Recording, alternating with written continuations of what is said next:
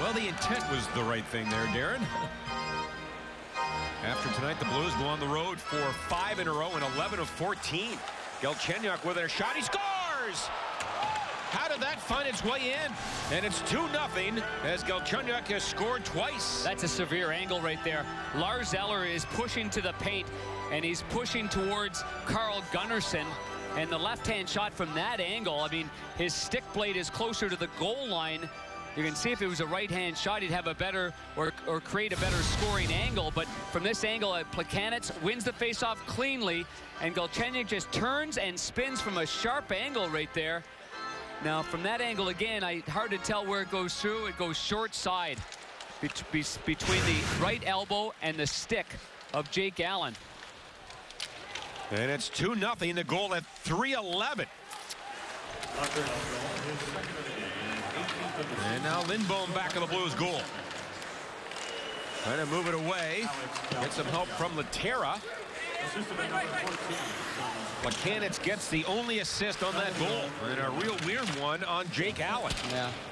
Well, Montreal continues their face-off dominance in this game. The Blues were only 36% in that first period. And they're that's number one in the league. Yeah. Well, Blues are pretty darn good themselves.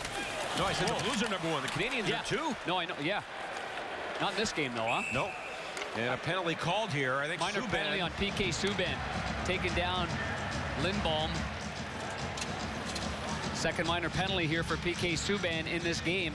He also set up the first goal of the game Montreal penalty number 76, two minutes for holding. on a shot pass to Galchenyuk in the first period.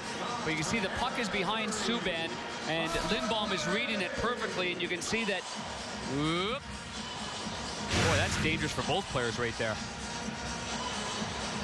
And the Blues go to the power play for the second time. Boy, do they need this. And Stastny wins it. Back for Gunnarsson to Pietrangelo. Now Stastny for Gunnarsson. He winds and fires it on goal and a glove save by Price. Did he make that look easy?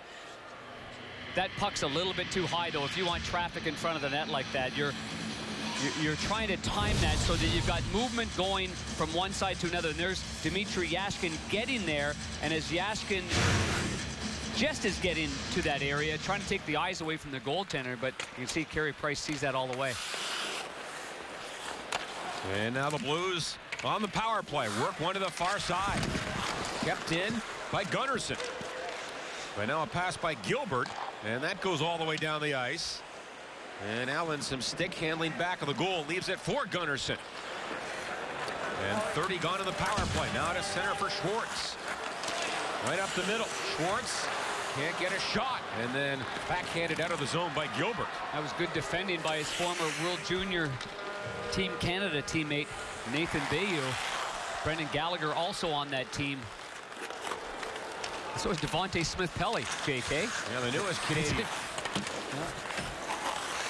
Now it is Gunnarsson for Pietrangelo. And that's an offside. Lehtera was in on left wing. Well, now you've got a five forwards all coming out on the ice for this power play unit. Only one shot there that came off the stick of Gunnarsson.